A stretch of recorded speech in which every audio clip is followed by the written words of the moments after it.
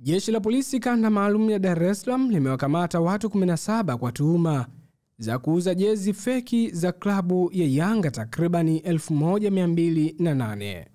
Kamanda wa polisi kanda maalum ya Dar es Salaam Jumanne Muliro amebainisha kwamba wamewakamata watuhumiwa hao katika maeneo tofauti tofauti akiwemo Zair Hassan mwenye umri wa miaka 17 aliyekutwa katika uwanja wa Benjamin William Mkapa akiwa na jezi bandia za timu ya Yanga takribani 52 huku maeneo ya Kariakoo mtaa wa Grey yalikamatwa Majiba Ndaya mwenye umri wa miaka 50 pamoja na jezi 124 ambazo amekutwa nazo Mohamed Ramadhan mwenye umri wa miaka 26.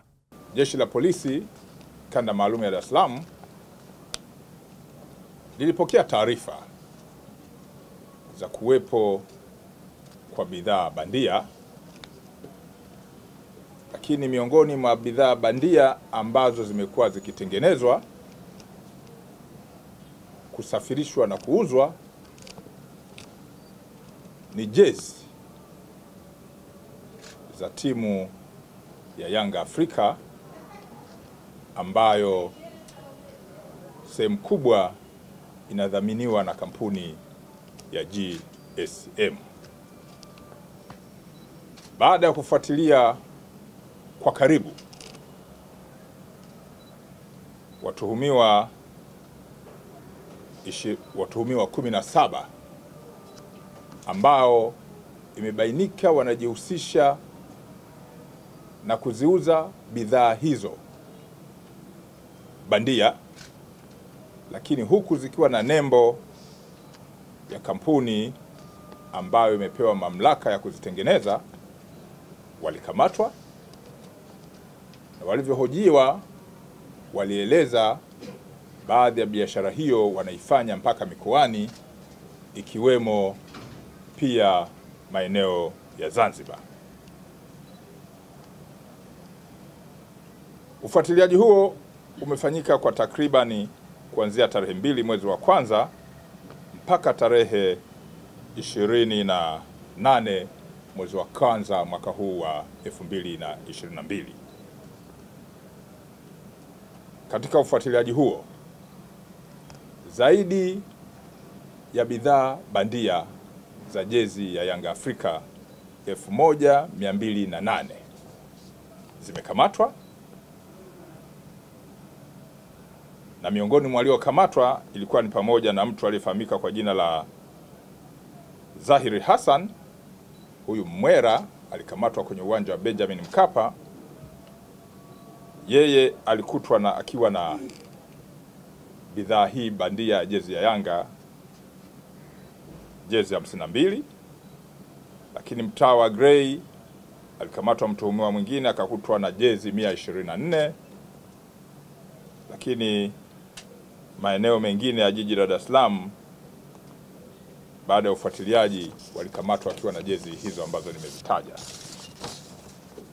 Uwanja wa Amani Zanzibar, kwa kushirikiana na askari wenzetu, pia zilikamatwa jezi kule, lakini na mikoa mingine ya jirani. Kutengeneza bidhaa bandia ni makosa kisheria, lakini pia serikali hii inajikita katika kuhakikisha kwamba mifumo ya kisheria ya mapato ya serikali yanapatikana na kutengeneza bidhaa hizi bandia, maana yake ni kukosesha kodi serikali. Kwa hiyo timu ya Yanga imelalamika na haiko tayari kuingia kwenye lawama ya kuwa sehemu ya watu wa kutochangia kodi ya serikali kwa baadhi ya watu kutengeneza bidhaa zile kwa faida yao binafsi. Jeshi la Polisi kanda maalum ya Dar es Salaam linaendelea kuwatahadharisha wananchi. Wote kutojihusisha na vitendo vya uvunjaji wa sheria ikiwemo kujiingiza katika biashara za kutengeneza bidhaa bandia, kwani kufanya hivyo ni kosa na Jeshi la Polisi kanda maalum ya Dar es Salaam litashirikiana na mamlaka zingine za kisheria kuona kwamba hatua kali dhidi ya watuhumiwa hawa zinachukuliwa kwa mujibu wa sheria ili iwe ni onyo na watu wa wasipate mwanya wa kukwepa kulipa kodi za serikali kwa kuhujumu kampuni zilizosajiliwa kisheria.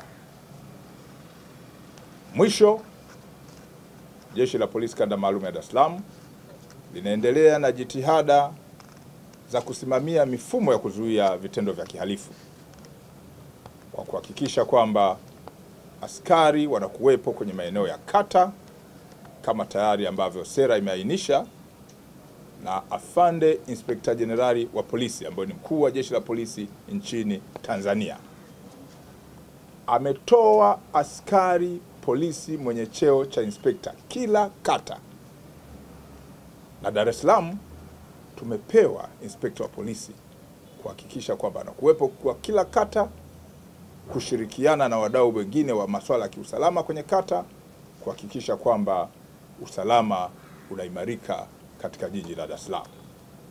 Naomba wananchi waendelee kutoa ushirikiano kwa askari wetu, kuwapa taarifa, na askari wamekumbushwa kuzingatia kiapo, kuzitunza siri za wananchi ili hatua za kisheria zichukuliwe dhidi ya watu wanaotuhumiwa.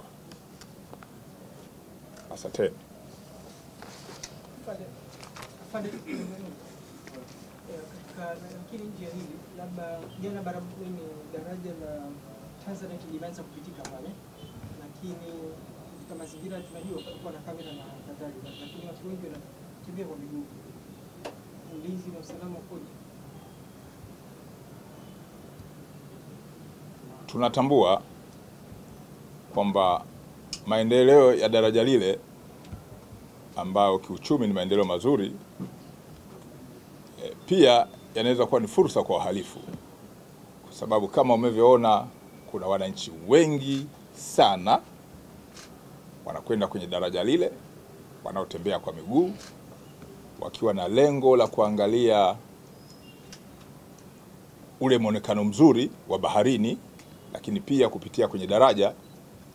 Na sisi tunaamini kwa sababu kazi yetu ni kuzuia vitendo vya kihalifu, kuwepo kwa askari polisi maeneo yale ni swala muhimu ambalo litazuia kuwepo kwa fursa ya wahalifu kufanya vitendo vya kihalifu.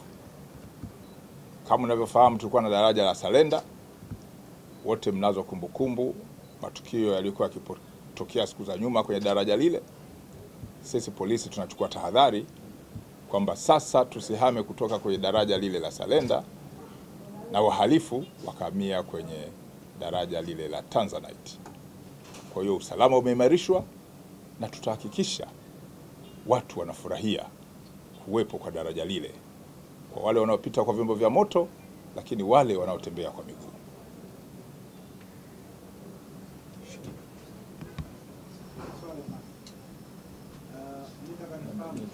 Kwenye huu mgao wa askari au inspekta kila kata, Dar es Salaam mpata askari wangapi, na je, wametosheleza kata zote?